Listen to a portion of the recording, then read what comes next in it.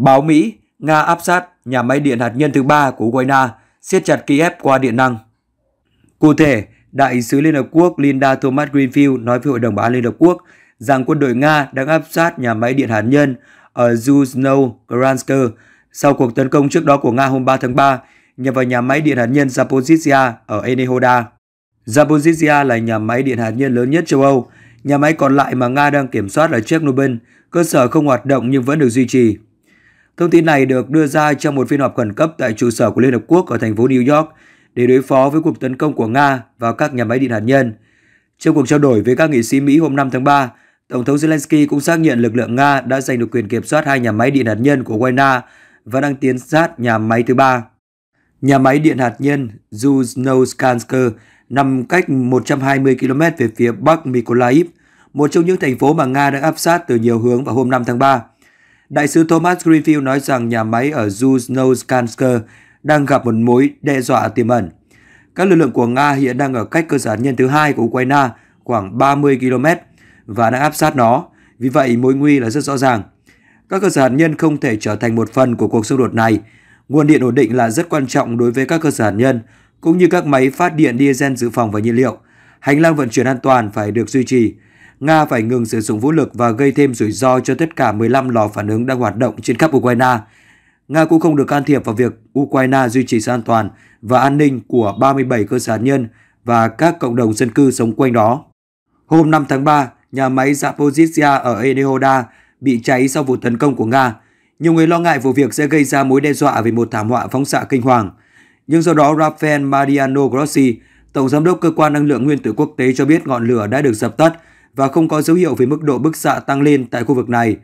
Ông Grossi phát biểu trực tuyến tại cuộc họp của Liên Hợp Quốc, nói với các đại biểu rằng không có lò phản ứng nào bị phá hủy tại các nhà máy điện hạt nhân Zaporizhia và nhà máy đang hoạt động bình thường sau vụ cháy, hãng AP đưa tin. Ông Grossi không cho biết ai là người chịu trách nhiệm cho một quả đạn bắn trúng một tòa nhà tại khu vực nhà máy và gây ra đám cháy. Nhưng ông tuyên bố Nga đã thông báo với ông vài ngày trước cuộc tấn công rằng lực lượng của họ sẽ cố gắng kiểm soát nhà máy này. Trong khi đó, các quan chức Nga cho rằng một nhóm phá hoại người Ukraine đã phóng hỏa khi tìm cách khiêu khích một nhóm tuần tra của Nga trong khu vực. Nói với Fox News, một quan chức quốc phòng cấp cao của Mỹ cho rằng Nga có thể đang tìm cách nhắm tới dân thường Ukraine thông qua việc kiểm soát các nhà máy điện hạt nhân, đặc biệt là nhà máy Zaporizhia, vốn không chỉ lớn nhất ở Ukraine mà còn lớn nhất ở châu Âu. Nga có thể chiếm nguồn điện để làm lợi thế trong các cuộc đàm phán, quan chức quốc phòng cho biết. Trước đó giao tranh đã nổ ra ở miền Bắc Ukraine, gần địa điểm của nhà máy Chernobyl vốn đang ngừng hoạt động. Đây là nơi từng xảy ra một vụ tai nạn được coi là tồi tệ nhất lịch sử vào tháng 4 năm 1986.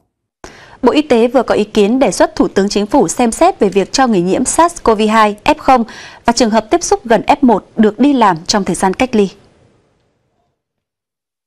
Theo đề xuất này, thời gian cách ly của F1 hiện nay là 5 ngày tại nhà với người đã tiêm đủ liều vaccine 7 ngày và với người chưa tiện đủ liều.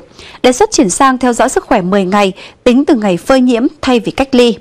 Trong thời gian theo dõi sức khỏe, F1 được yêu cầu xét nghiệm vào ngày thứ 5. Nếu âm tính vẫn tiếp tục theo dõi sức khỏe trong 5 ngày tiếp theo. Thực hiện 5K, không tiếp xúc với người có nguy cơ cao, người trên 50 tuổi, phụ nữ có thai, người có bệnh nền. Bộ Y tế cũng đề xuất F0 không có triệu chứng đang trong tình trạng thời gian cách ly 7 ngày chưa có kết quả xét nghiệm âm tính có thể quay lại làm việc trực tuyến, tham gia chăm sóc bệnh nhân COVID-19 tại gia đình, cơ sở lưu trú hoặc điều trị. Nếu tham gia làm việc tại cơ quan điều trị phải thực hiện 5K và phòng hộ. Với F1 đã tiêm hoặc chưa tiêm đều có thể tham gia làm việc trực tiếp và trực tuyến. Nếu làm việc trực tiếp tại các cơ sở, phải sử dụng nhân lực bố trí khu vực làm việc riêng cho các F1. Thưa quý vị và các bạn, trước tình trạng dịch bệnh COVID-19 đang diễn biến phức tạp sau kỳ nghỉ Tết Nguyên đán, nhiều đại lý bán thuốc trên địa bàn Nghệ An và một số địa phương khác đã tự ý nâng giá các loại kit test và bán các loại thuốc điều trị COVID-19 không đúng theo quy định cho phép. Và thực trạng này thì không chỉ gây thiệt hại về kinh tế mà còn gây nguy cơ ảnh hưởng đến sức khỏe khi mà người dân sử dụng các loại thuốc không rõ nguồn gốc trôi nổi trên thị trường. Trên các trang mạng xã hội, những loại thuốc điều trị COVID-19 được chào bán tràn lan với các mức giá khác nhau. Thuốc Monupiravir 400mg được bán với giá 1,2 triệu đồng một vỉ 10 viên và giá gần 5 triệu đồng cho một hộp 100 viên. thuốc Abidol 200mg của Nga được bán với giá từ 350.000 đến 550.000 đồng một hộp 10 viên. Thuốc Arepivir có giá từ 2,1 triệu đồng đến 2,5 triệu đồng một hộp. Cùng nhiều loại thuốc khác được chào bán với mức giá từ 3 đến 5 triệu đồng. Dù là thuốc chưa được các đơn vị chức năng kiểm chứng, cấp phép sử dụng, nhưng nhiều người dân vẫn tìm mua với tâm lý để phòng bệnh. Mấy lớn thì 550 nghìn một hộp là cái loại đỏ ấy. Dạ. Còn cái loại cho trẻ em là cái loại hộp bột trắng nó là 250 nghìn một hộp. Ủa, rồi cáo rồi chi? Giá cao đấy. Giá này là thấp đó em ạ. À. Chứ có những nơi họ bán cao hơn này đang thiếu thuốc mà. Trong vai người có nhu cầu tìm mua loại thuốc điều trị COVID-19, nhân viên quầy thuốc này cho biết là hiện có rất nhiều loại thuốc, trong đó Monupiravir là loại thuốc đang được tiêu thụ nhiều nhất. Với hộp loại 400mg như thế này được bán với giá từ 2,7 triệu đồng đến 3 triệu đồng. Trong khi giá thuốc Monupiravir của Việt Nam sản xuất hiện chỉ có giá khoảng 250.000 đồng một hộp. Đây có Monupiravir nghe. Đó là bao tiền một hộp em? Có những cái lô hàng là có những gói thuốc là đến đến 3 đến 4 triệu. À, thực ra là những cái thuốc đó thì chúng tôi cũng không thể kiểm chứng được nguồn gốc và chất lượng của cái thuốc đó. Không khuyến khích người dân tự mua thuốc và tự sử dụng ở nhà. À, vì nó rõ có thể là ảnh hưởng đến không những là không uh, ngưng được quá trình uh, virus nhân lên mà còn ảnh hưởng đến uh, sức khỏe và tính mạng của người bệnh. Bên cạnh các loại thuốc điều trị COVID-19 không rõ nguồn gốc, một số quầy thuốc trên địa bàn thành phố Vinh, Nghệ An còn bán các loại vật tư khi chưa được cấp phép với những giá khác nhau. Bộ kit test nhanh của Genbody sản xuất từ Hàn Quốc được bán với các giá khác nhau từ 70 đến 135.000 đồng. Trước đấy thì ờ, chưa trước khi chưa chúng tôi chưa nắm được cái thông báo nó thì ờ, thì chúng tôi cũng bán nó mà vừa, vừa là bán lẻ tẻ đối với đôi với cho dân rồi thôi nhưng mà sau khi có thông báo của sở y tế thì chúng tôi lại là dừng lại. Khẳng định là buôn bán lẻ tẻ, nhưng trên Facebook của cơ sở này quảng cáo có thể cung cấp hàng nghìn bộ test nhanh kháng nguyên COVID-19 cho các đại lý. Khi đoàn thanh tra của Bộ Y tế đến kiểm tra, thì chủ cơ sở này đã không xuất trình được các giấy tờ cấp phép buôn bán thiết bị y tế liên quan đến điều trị COVID-19. Trong cái thời gian vừa rồi thì ngành y tế à, cũng đã thành lập à, nhiều cái đoàn à, thanh tra kiểm tra diện rộng trên bàn toàn tỉnh và cũng đã xử lý nghiêm minh một số các cơ sở mà đã có bán cái thuốc ờ, để phòng chống Covid. Sở Y tế Nghệ An cũng đã ban hành văn bản yêu cầu các cơ sở kinh doanh dược phẩm trên địa bàn không được mua, bán thuốc và các loại kit test chưa được cơ quan chuyên môn cấp phép. Việc người dân tự tìm mua và sử dụng thuốc điều trị COVID-19 một cách tùy tiện không chỉ gây ảnh hưởng đến sức khỏe của người bản thân mà còn gây khó khăn trong công tác phòng chống dịch bệnh hiện nay.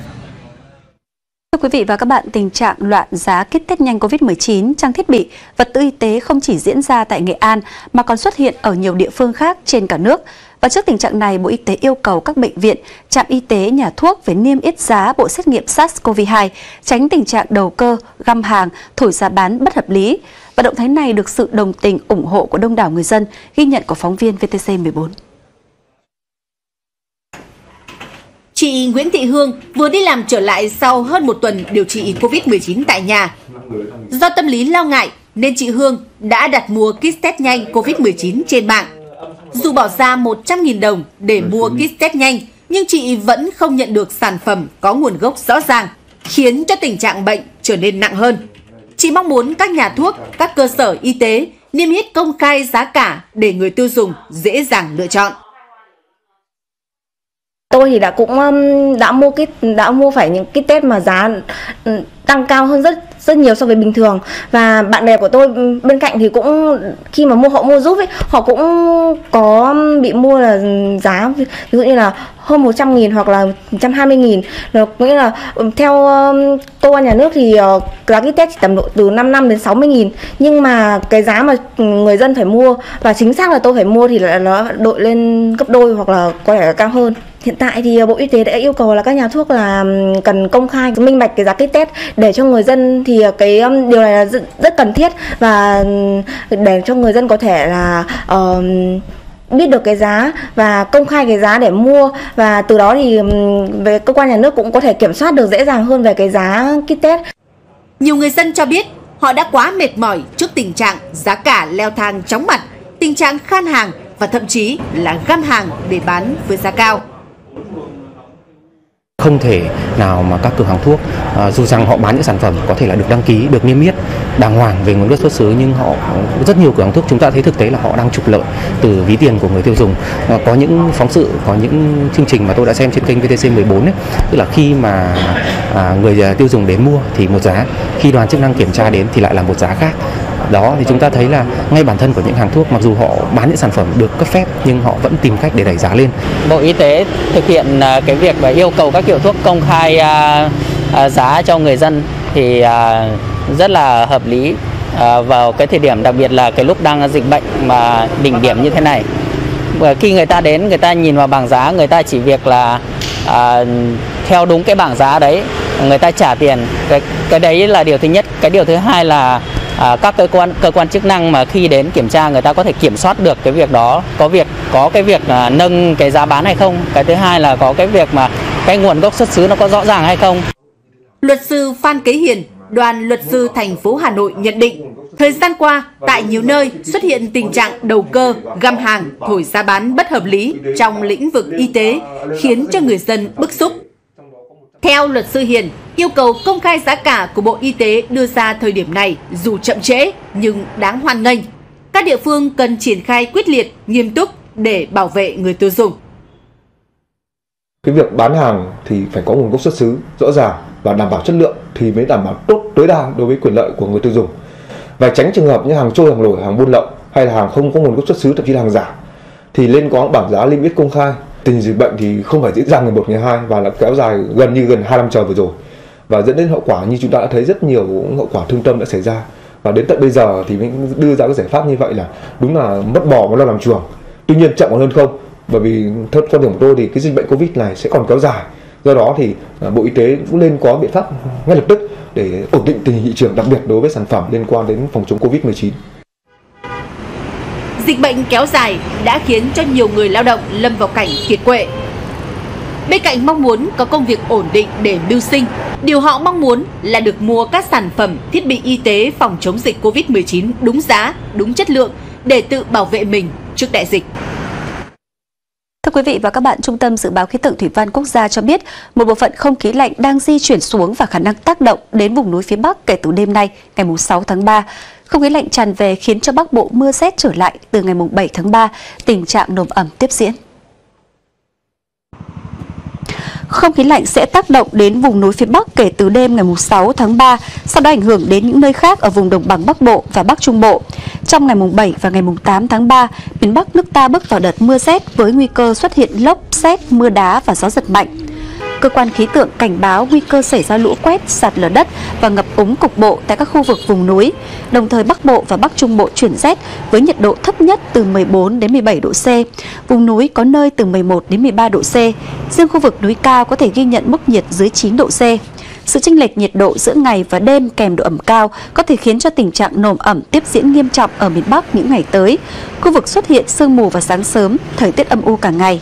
Cơ quan khí tượng nhận định trong tháng 3, các đợt không khí lạnh tác động đến miền Bắc suy giảm dần về cường độ và tiếp tục có xu hướng lệch đông. Đặc điểm này gây ra tình trạng sương mù, mưa nhỏ rải rác về đêm và sáng sớm. Công cái lớn, cái bé vốn đầu tư 3.300 tỷ đồng có vai trò kiểm soát điều tiết nước, giảm thiểu thiệt hại do hạn mặn và sau gần 400.000 hecta đất ở vùng bán đảo Cà Mau. Công trình này đã được khánh thành vào chiều ngày hôm qua. Công trình xây tại huyện Châu Thành và An Biên khởi công vào cuối năm 2019, hoàn thành vào tháng 11 năm 2021. Thủ tướng Phạm Minh Chính đánh giá cao cố gắng của các địa phương, người dân, nhà khoa học, kỹ sư, công nhân để hoàn thành hệ thống thủy lợi quy mô lớn này. Công trình thể hiện quyết tâm lớn của chính quyền trong việc chuyển đổi tư duy sản xuất, chủ động thích ứng biến đổi khí hậu. Vì thế, các bên liên quan phải đưa vào công trình khai thác công trình hiệu quả tối đa. Dự án vận hành sẽ kiểm soát điều tiết nguồn nước mặn lợ ngọt cho 384.000 ha đất tự nhiên ở Kiên Giang, Hậu Giang, Cà Mau và Bạc Liêu. Công trình góp phần phòng chống thiên tai, cháy rừng, tăng khả năng thoát lũ, tiêu úng, cải tạo đất phèn, kết hợp phát triển giao thông đường bộ. Thời gian tới, Bộ Nông nghiệp và Phát triển Nông thôn tiếp tục nghiên cứu đầu tư giai đoạn 2, mở rộng vùng hưởng lợi, hoàn thiện hệ thống, xây dựng mô hình quản lý các công trình thủy lợi liên tỉnh ở vùng đồng bằng sông Cửu Long. Trong những ngày số ca mắc COVID-19 lập kỷ lục ở Hà Nội, lượng người dân và phương tiện ra đường ít ỏi, hàng loạt cửa hàng cũng lựa chọn cách đóng cửa, tạm dừng kinh doanh, buôn bán. Theo khảo sát tại ngã tư Hàng Bông Lý Quốc Sư, tuyến phố Hàng Đào Hàng Ngang, khu vực quảng trường Đông Kinh Nghĩa Thục, quận Hoàn Kiếm, nhiều cửa hàng, thời trang, quán cà phê bán đồ ăn đã treo biển tạm thời đóng cửa. Một phần nguyên nhân là số ca mắc COVID-19 liên tiếp lập kỷ lục tại Hà Nội. Nhiều cửa hàng cũng không còn nhân viên để hoạt động. Một số chủ kinh doanh cho biết nhiều ngày nay cửa hàng mở cửa nhưng không có khách vào mua. Đường phố cũng vắng tanh do ảnh hưởng của dịch bệnh. Do đó, việc lựa chọn cách đóng cửa, tạm dừng kinh doanh, buôn bán thời điểm này để đảm bảo an toàn trước dịch COVID-19. Theo Cục Thuế Hà Nội, trong 2 tháng đầu năm 2022, có 17.443 doanh nghiệp trên địa bàn chấm dứt kinh doanh, tăng 5.014 doanh nghiệp so với cùng kỳ năm 2021. Có 31.750 doanh nghiệp ngừng kinh doanh và tăng 10.028 doanh nghiệp so với cùng kỳ.